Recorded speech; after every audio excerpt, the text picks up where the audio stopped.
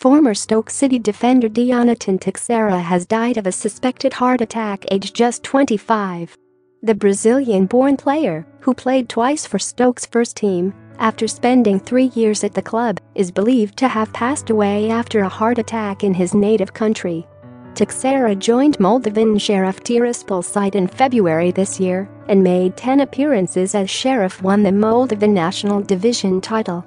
Teixeira also played for Kosas, Slovan Bratislava, Banik Ruzina and Dukla Banska Bystrica, and made eight appearances for Fleetwood Town during a loan spell from Stoke in 2015. A statement on Stoke's website read, Stoke City extends sincere condolences to the family of former defender Dionatan Teixeira following his untimely passing at the age of 25.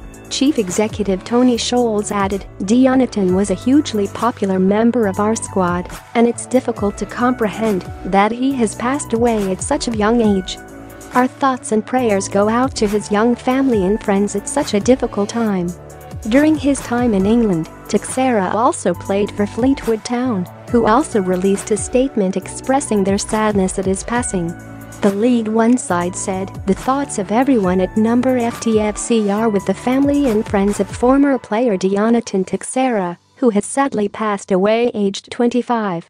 A statement on the Sheriff Tiraspol website said Teixeira had traveled to his native Brazil in the summer and had been due to return to the club. The Sheriff Tiraspol statement read, A few hours ago, a good man and an excellent football player, former FC Sheriff player Dionatan Teixeira died.